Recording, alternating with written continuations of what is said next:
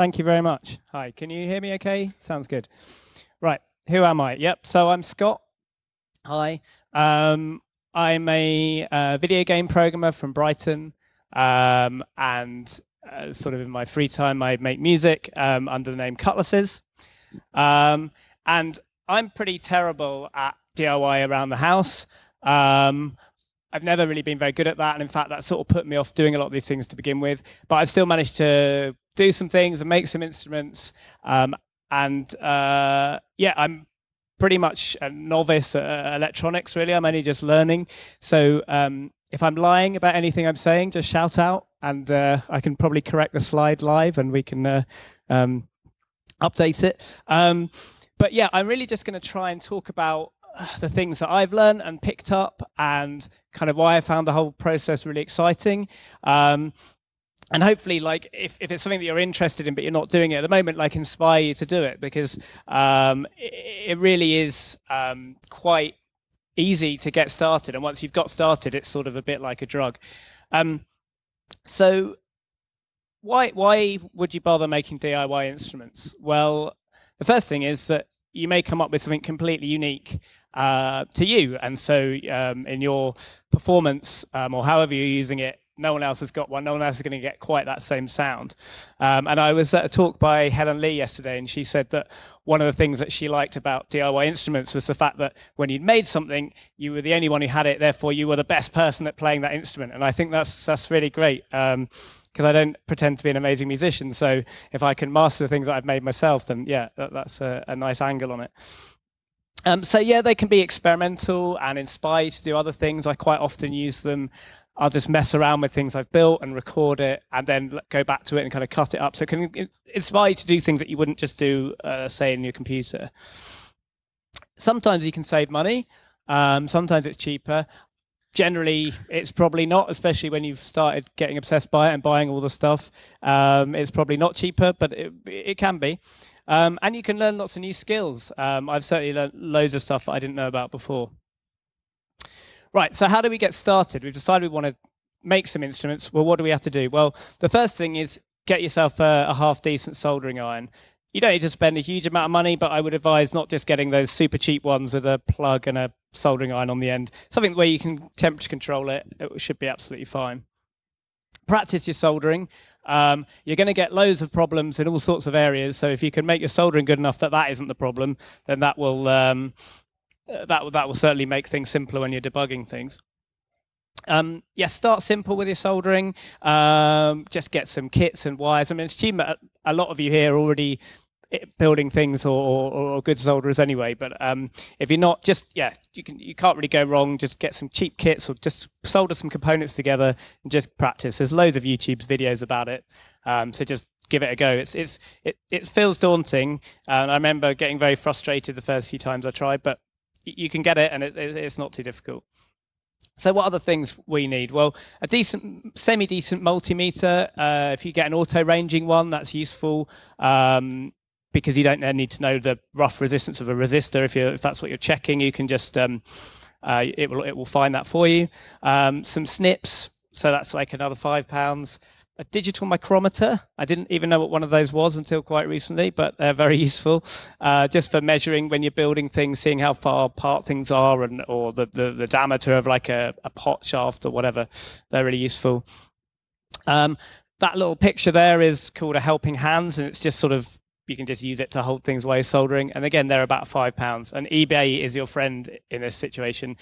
Um, you can get, especially if you're prepared to wait for things to come from China, you can get things super cheap.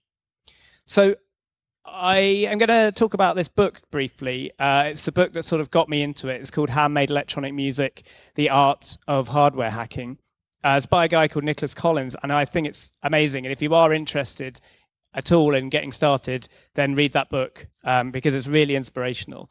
Um, yeah, it's a great book, um, and it covers a variety of different projects that you can do, um, from really simple um, to much more complicated. But it always sort of ties it back into the history of electronic music, and it sort of gave me a good understanding of like where these things had come from and what artists used them and how they got started. So that I found that really interesting as well because it wasn't something I knew that much about. Um, and so, yeah, it's certainly where I nicked most of my initial ideas in this presentation from. So um, the first thing I'm going to talk about is a contact mic. So does anyone, how, who knows what a contact mic is? Right, most of you. Okay. So um, basically, it's probably the simplest thing that you can make. You can make one for a fiver. Uh, you just get these things called piezoelectric discs. Um, so that basically means um, piezoelectricity is just electricity from pressure, essentially. So um, they've got a small crystal or ceramic element, and when they're um, crushed or vi uh, vibrated, uh, they generate electricity. So uh, uh, the sound vibration will generate electricity. So the interesting thing about contact mics is that because they are picking up vibrations through solid materials, you don't get any of the sound of the room. So you don't hear any reverb, um, and it's a very, very dry sound. So it sort of sounds unlike you would have ever heard that sound because um, you, you, you can never hear something without it passing through some air. So that means you can get some really interesting sounds out of them. Uh, yeah, I'll just put a note here to say if you do build one, make sure you use a high impedance input on your um, in your preamp or your audio interface. But yeah, so they're really really simple to build. Um, you can build one in half an hour once you've you know once you've practiced. Um, you just need a a um, piezoelectric disc. They are pence from eBay. Um, some shielded audio cable and and a, a jack, and that's it and you basically solder the um, you see in that diagram that the center of the disk is the is the hot and the outer is the cold and you just solder the hot to the tip and the cold to the other part of the jack. And that's it. And you can do that in a couple you know literally half an hour if that. And um, you can make some really cool sounds. Um, so i've there's i've just mic'd up a bottle of beer. Um, with a condenser mic and a contact mic just to kind of get different sounds. But you can attach them to all sorts of things and hit them or scrape them and bang them, and uh, you'll get all these kind of sounds that you that you won't get any in any other way. Um, I also coated mine in this stuff called Plastidip, which I later found out is highly toxic. So um, I didn't find it out by being ill. Someone just told me. Um, so be careful if you do buy that. But it's it's really good. You can sort of dip your um, contact mic in that, and um, it looks like this when you do, and so it's waterproof um, reasonably. And um, yeah, you can sort of attach it to things. Um, cheese, uh, cheese graters are always good, and there's a bit of corrugated card that I can just sort of scrape and make these sounds. so this is this image here is uh, I went did a field recording course at Newhaven Fort and found this huge um, iron kind of pipe. I don't know what it was for, with this sort of grating in front of it. I managed to wedge a contact mic in between the grating and the pipe, and then just bow it with a violin bow, and it sounded amazing. I don't know if hopefully this will work. Um, are we getting any sound? There we go. You couldn't hear anything when you were just bowing it, but you.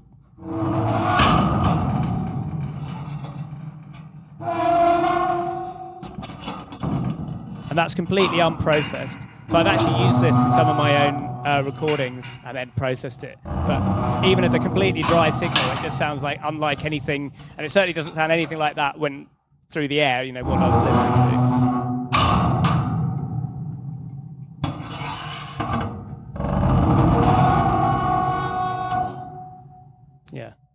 So I don't know, maybe that sounds horrible to you, but I really like that sound. So um, another thing that um, contact mics are used for is reverb, spring reverbs, um, which is like a really early form of reverb.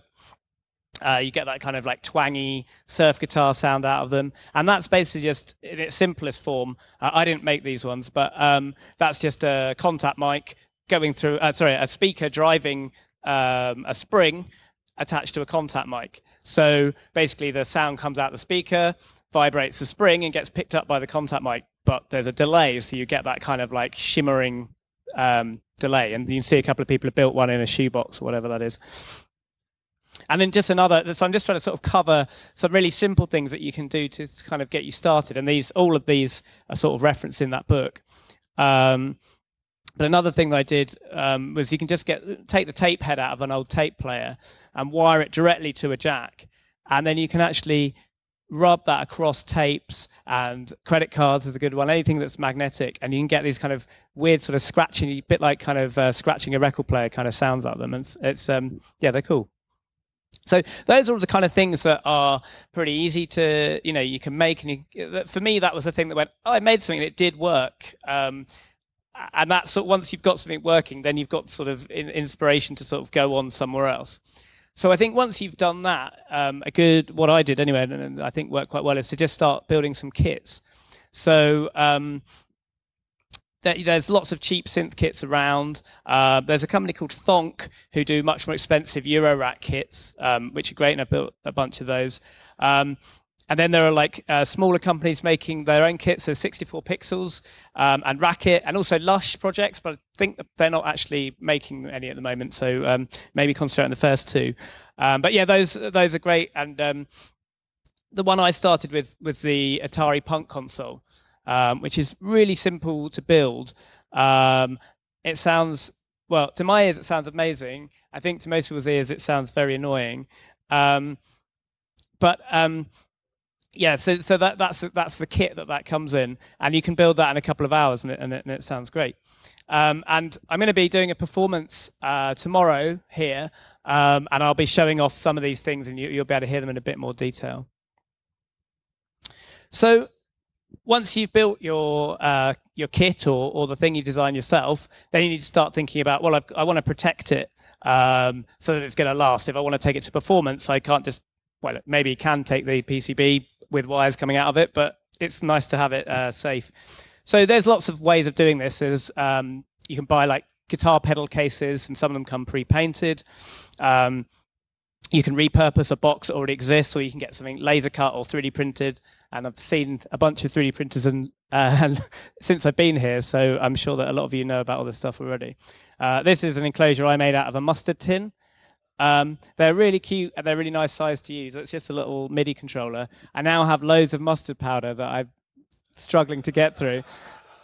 Uh, but um, yeah, they're, they're, they're, nice little enclosures. So that's what I did with my um, Atari Punk console, just in a little um, uh, moisturizer tub, um, which, I'll, which I'll show off um, tomorrow. Uh, and that funny Christmas tree looking thing, which I didn't know what it was, is a hole cutter. They're super useful. So, um, sort of, so I'd, I'd, done a bit of this sort of tinkering around with things, and um, you know, I'd enjoyed it, but I, I, I, sort of then you know didn't really know where to go from there. Um, and I was doing some live stuff uh, with with laptop and guitar, um, sort of, um, and field recordings and processing them, and um, I really wanted to be able to use my feet because my hands were full of guitar. Um, so I went to try and find one, and I realized there's actually quite a dearth of, of small ones because I wanted to be able to fit everything in, in one bag when I was doing a gig. And there's that absolutely huge one. It's about this big. Um, did not fit the bill. Um, and there, there, just didn't seem to be any that, that really fitted the what I, what I needed it for. So I thought I actually bought one from I think it was from Japan, just a guy who had made them, and that was really small. It sort of fitted the bill, but you couldn't program it, and it didn't match what I needed it to do. So I took it apart and I was like, it looks quite simple. And I'd heard about um, Arduino and things like that. I thought maybe I can have a go at this. So um, yeah, so I started um, reading about Arduino and development boards. And um, I think this was where I started to really get into the whole idea of, you know, as soon as you, as I say, once you do something and it works, it just sort of inspires you to do the next thing. And when that works, you can just get a bit more complicated each time. Um, so, yes, so I'm guessing that most of you know um, about Arduino. I mean, how many of you know Arduino? Yeah, pretty much everyone. Okay, so um, yeah, so you all know about Arduino, and there's other other ones that exist. Um, Teensy, uh, BeagleBoard. There's there's lots of different dev boards, um, and you can program in C or C++, which is good for me because that's what I do as a job. So it's like, okay, I can do. I know I can do that bit. Will I be able to do the hardware bit? So I actually concentrated on Teensy um, which is uh, Arduino compatible. It's really small, so it will fit inside a small enclosure. Um, and I'd say it's probably more suitable to doing USB MIDI than the Arduino, just because it sort of supports that out of the box. They're pretty cheap. Um, I think they're about twenty pounds, and in fact, there's there's an even cheaper version called the LC, which if you're just doing MIDI, um, is absolutely fine for that. So that it can be even cheaper. So that's the data sheet for it. Um, it's a 32-bit ARM chip, so ARM, as you, I'm sure you'll know, is what's in most of our phones, um, and you can program it in C. And it's got a bunch of analog and digital ins and outs, which is basically what we need. So it has a really simple C interface, which you all know as, as Arduino programmers. Um, you, you can just say digital right, here's the pin number. I'd like to set that high, please. And that pin will output a high voltage on, basically five volts or whatever the, the voltage supply is. Um, and so I prototyped all of that on solderless breadboard, uh, which is what that is there. And the good thing about that is that because it's all very low vo low voltage, you can sort of just hack it around and hot plug it till it works basically because generally you well i would have got something wrong and be like okay why doesn't that work? And you don't have to worry about you know getting a shock or anything. Um, so that that's just a very simple version with um, four leds but without the switches. So so that's pretty much the schematic for this midi pedal that i made uh, it's just four switches and um, five leds and they're all just red in code and so it's it was really simple once i sort of breadboarded it out. It's like, okay, I can do this. It's, it's quite easy. Um, so it's basically four um, guitar pedal switches, um, some LEDs, uh, and then the code I wrote, which is pretty short, really. Um, and I, now, now I've programmed it, I can configure it to do whatever I want, and I can tie it into my performance and make things work as I need them to work. So um, yeah, so that's um, also I put in so there's four LEDs for when you press the pedals. There's also one for MIDI clock, so I can see the clock, which I still haven't decided whether that's a good thing or not because it is quite useful to know the time, but also it's really annoying if you're playing in a dark stage because it's all you can see. And um, I put really low resistance on the LED, so it's like blindingly bright. Um, but yes, I don't know if that was a good idea yet. Um, so yeah, I put, just mounted it on Veroboard. Um, and I bought a pre-painted guitar pedal enclosure and made myself a little drill hole schematic in, in Inkscape. Um, and it looked like that. I don't know how well you can see that, but that's just before I drilled it. Uh, and there I am drilling it um, at a very slanty angle. Um, I hope that wasn't actually how I drilled it. Um, maybe I just did that for a photo, I'm not sure. Uh, I now have a drill press, uh, which is one of my best investments, uh, and that certainly makes that a lot easier because I had a very sweary day one afternoon when trying to drill something and snapped a drill bit. And um, yes, that's when I got a drill press. So um, yeah, so there it is on Veroboard. I'm not sure why I use such incredibly long wires. Um, yeah, so this was quite a long time. This is a few years ago, and I yeah, I'm not sure why I did that, but um, it works, and I, there it is finished, um, and it still works now. So that um, sort of yeah so it gives me this level of control as i said and it's it's pretty short in terms of code so and all this stuff's on github so anything that you want to read about um, it's all up there and i'll put this presentation up there as well um, so yeah so in terms of things i learned from building that was yeah get a hole cutter don't try and use massive drill bits that's not a good idea um, keep it buy enough components so you can keep a working prototype um, don't uh, harvest your prototype to build the um, your final product because then when it doesn't work, you don't have anything to refer to. These are things all learned from experience. Um, yes, and when you're making a drill sheet, bear in mind that the drill sheet might be two-dimensional, but the thing is actually three-dimensional. So where I'd put my holes to drill the switches was actually also where I drilled the hole to put the USB, and they basically occupied the same space, um, which doesn't really work. Luckily, I managed to fiddle it around till it worked. But yes, so think about that. Um, also, uh, this is a very specific bit of advice, but um, don't flash your Teensy through an unpowered USB hub because it will um, brick it. And I just, I mean, you can, it's fine, you can flash it again directly, but it just took me ages to work out that's what had gone wrong. So once I'd um, sort of got my confidence up, built built this MIDI pedal, it's like, oh, this is cool, I can build stuff, it's going to be fun. Um, so I heard about Eurorack, and I don't know how many of you are aware of Eurorack. Show of hands for Eurorack. Okay, still quite a lot of you. So yeah, see, it's a modular synth format. Um, and I really like the look of it. It's, it's very visually interesting. Although I find all the cables sort of upset my OCD a little bit. I find I, I like I prefer the look of them when there when there's no cables plugged into them. Um, but that's just me. Um, but they are super expensive. Um, so this isn't mine, but um, yeah. So there, there's someone's uh, modular synth. I imagine there's tens of thousands of pounds worth of um, equipment there.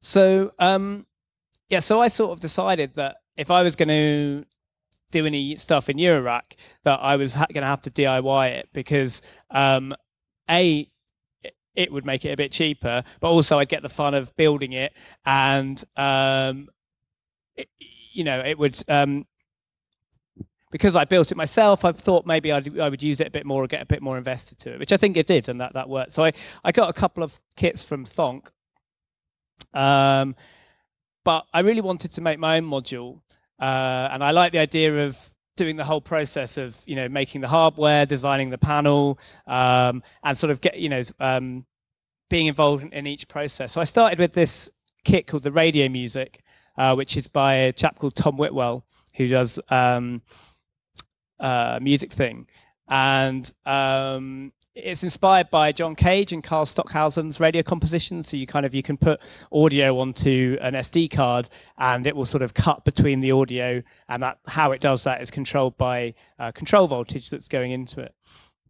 And that's Teensy based. So I was like, okay, I know about Teensy. I sort of understand that. And from building that, I suddenly learned a whole load of new stuff. I was like, okay, that's how the, that's how you'd get power to the teensy, right? Okay, oh, that's what a voltage regulator is, right? Okay, um, and so just building these kits, I sort of slowly started to learn what these things were for.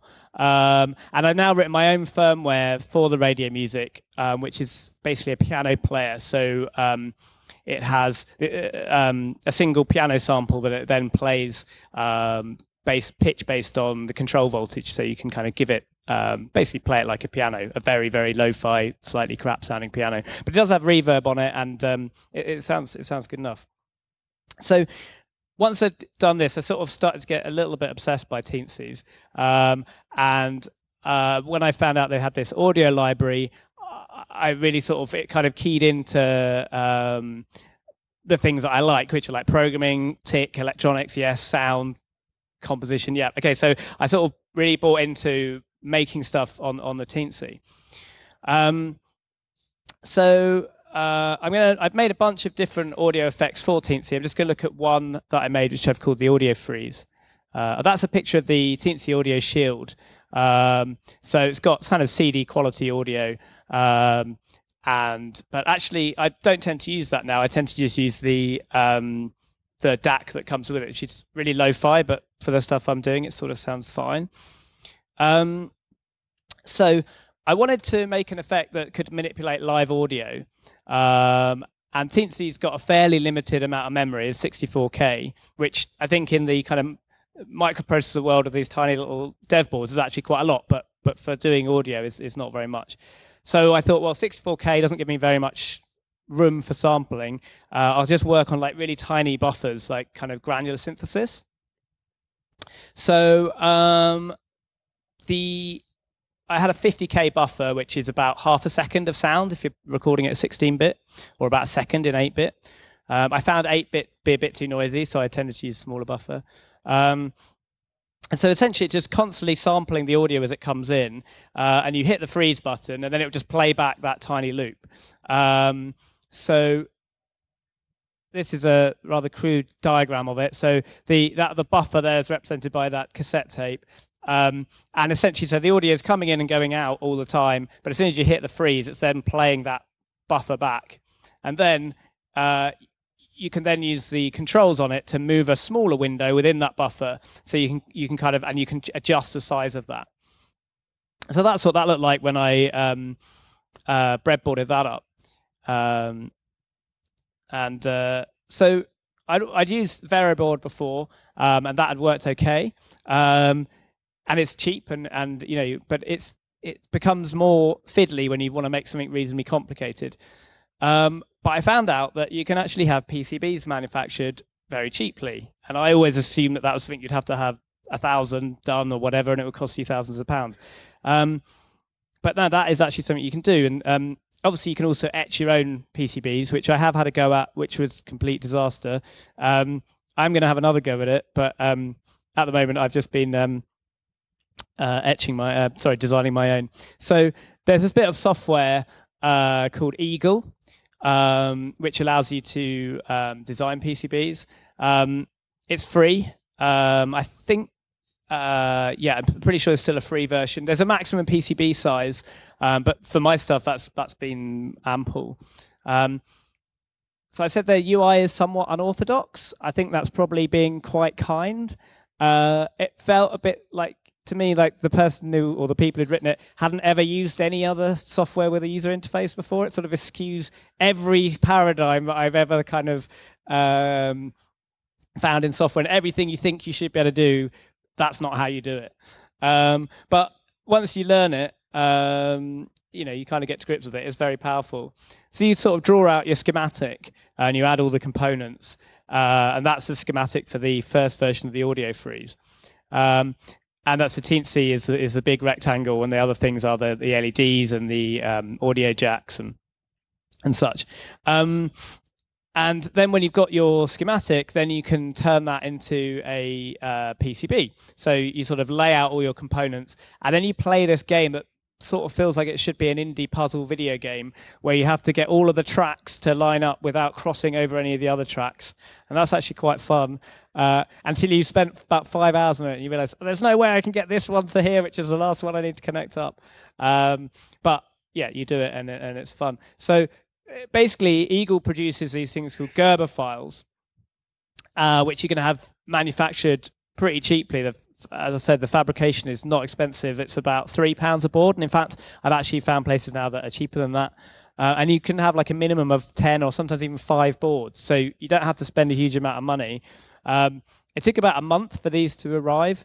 Um, but there are so that you can pay more um, and have them sort of delivered more quickly. Um, and as soon as you can make your own PCBs, you can be a lot more ambitious about what you make. Um, and also you can sort of, and there's loads of kind of schematics um, online that you can find that you can learn from. So yeah, so once I started doing that and making my own PCBs, that's, you know, sort of really started accelerating. Um, so on all these uh, Eurorack modules, they have sort of a, a fascia, um, and the PCB normally sits behind that fascia. And the, that is then mounted into your case. Um, and most most modules that you'll buy um, commercially use metal panels, but um, I didn't have that. Um, but I so I used a laser cutter, and I just basically laser cut acrylic. Um, and I'm sure all of you know about laser cutters, but you can create a vector image, pipe that over to the laser cutter, and it will go and cut it out for you. Uh, and I was very lucky to know a generous friend who had a laser cutter um, who let me use his, um, which was very useful. Um, but there are other sites uh, like Ponoko um, where you can have uh, send off your files and they'll send you the uh, laser cut item in the post. Um, so that's the vector image. I'm not sure how well you can see that.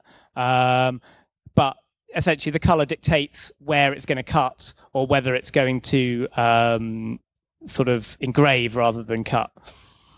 Um, and then I, I use the PCB design in Eagle to to lay out where everything should be, so that I knew the PCB was where the the components were, so I could lay that out as a layer in Inkscape and and fit everything around that. Um, so there it is cutting and uh, it's quite an amazing thing when you've sort of designed something entirely digitally and then this magical robot cuts it out for you and just watching it it is like it's totally mesmerizing uh, and, and that was really cool. I've covered it there in uh, masking tape uh, and you'll see why in a second. So um, so that's just acrylic covered in masking tape um, and uh, i then sort of painted over it. So um, and then peeled off the masking tape and then it looked like that. So um, that and those are the, the controls on there. But I've got a video uh, which should have time to play, so it's not very long.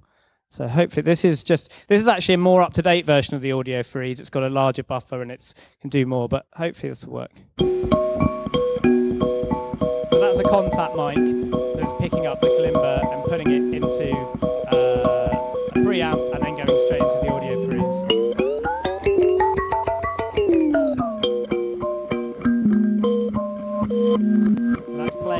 You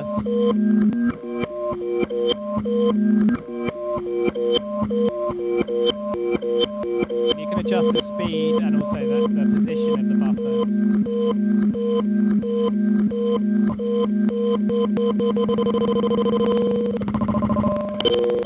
So that's a very small buffer that's sort of scrolling along, so it's like a very crude form of like time stretching, which I found by accident. I didn't, wasn't meaning to do that. That's a little music box I got off eBay where you can program your own uh, melodies by stamping out the paper.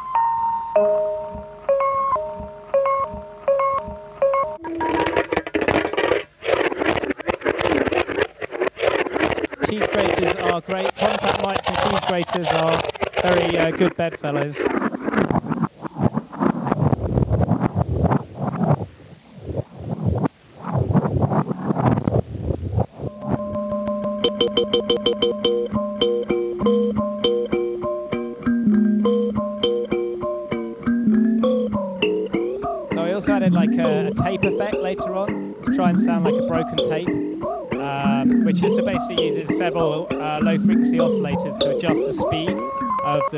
The playback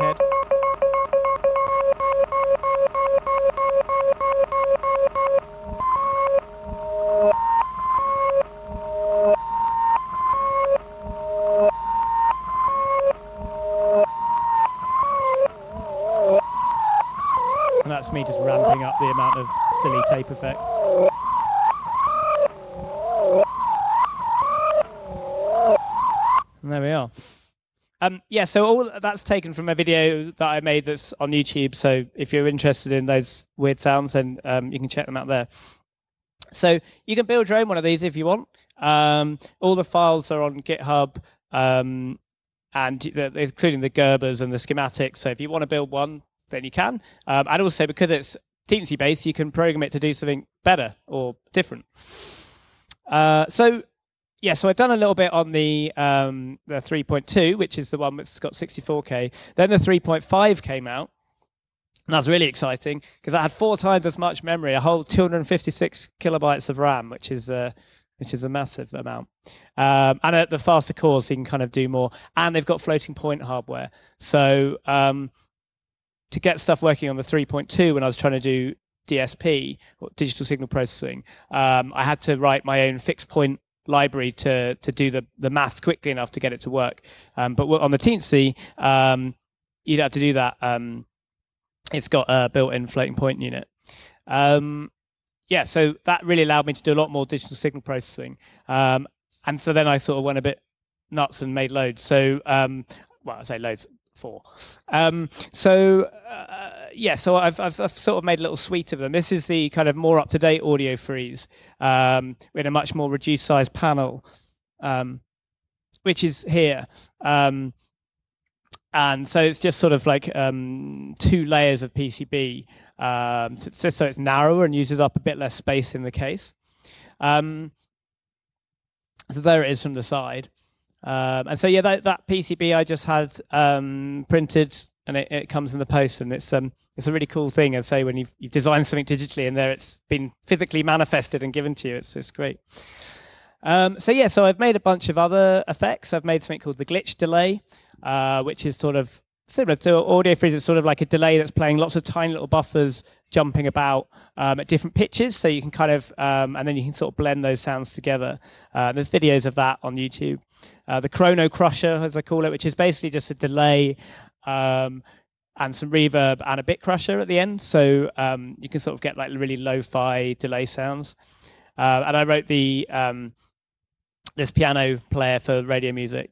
Um, and yeah, all the code and schematics are on GitHub, as I say. They're all open source. You can take them and do what you like with them. So this is a case that I built to house them all in, just made out of a, a, a lunchbox that I found on the internet. Um, so I just put some wood into it uh, to make the bars to uh, screw the um, panels into, and that's just a little um, power supply that the, the, kind of the power supply bit is actually pre-made, and I just wired that into some variable to put the connectors into. So yeah, so there's a bunch of the ones I've made um, housed, and I've I've used aluminium paddles there. Now I've got my drill press. I can drill things more easily with uh, less swearing. Um, and uh, yeah, so that that's there is the uh, glitch delay, the chrono crusher, and the audio freeze all together, and that other module sort of uh, guitar preamp, so I can put my guitar through these. Um, yeah, so final thoughts. Um, yeah, so I'd say if you're interested in building stuff, then do it because I mean, obviously, we're all makers of, of some description. But if, if particularly if interested in building instruments, I'd definitely go for it. Um, it's it's really rewarding. As I say, getting something in the post that you've made digitally is great. Just sort of having an idea and then weeks and weeks later, finally you've got something is great. And with the internet, makes everything so much easier. Um, so I've focused primarily on the Teensy, uh, just because that was what I was into. But there's other obviously ways of doing things digitally. There's Bela and there's Raspberry Pi, um, but also there's analog and there's a load more stuff that you can do uh, in the analog realm. I haven't done so much of that just because I'm not as experienced in that stuff, but um, you know, there's loads of crazy things you can do there, uh, and often you get a lot more kind of weird, unexpected stuff happening in analog. Um, that's often why things take so long because the weird, unexpected things are stopping you from doing what you're trying to do. But if you're using it for audio, that audio that can be really cool. So, um, how do we get started? As I said, practice your soldering. That's really important. I definitely recommend reading that book. Uh, I don't have any interest in it. I don't know Nicolas Collins, but I just think it's a great book and I really recommend it. Um, build some kits. Uh, I think that's a really great way of learning things. Oh, okay. So sorry, I've just seen my time's up. Um, so yeah, thank you very much to um, to uh, electromagnetic field. Um, I'll just just go to the end of this so you can see where I am. So if you want to get any of this stuff, um, I'm uh, on GitHub, and um, you can check out my music and some of the music that I've used to make these things. Uh, and as I said, I'm going to do a live performance tomorrow at nine o'clock. Um, you'll be able to see all this stuff kind of being used and hear what it sounds like in a more sort of performance uh, environment. Um, yeah, thank you very much for having me. Um, cheers.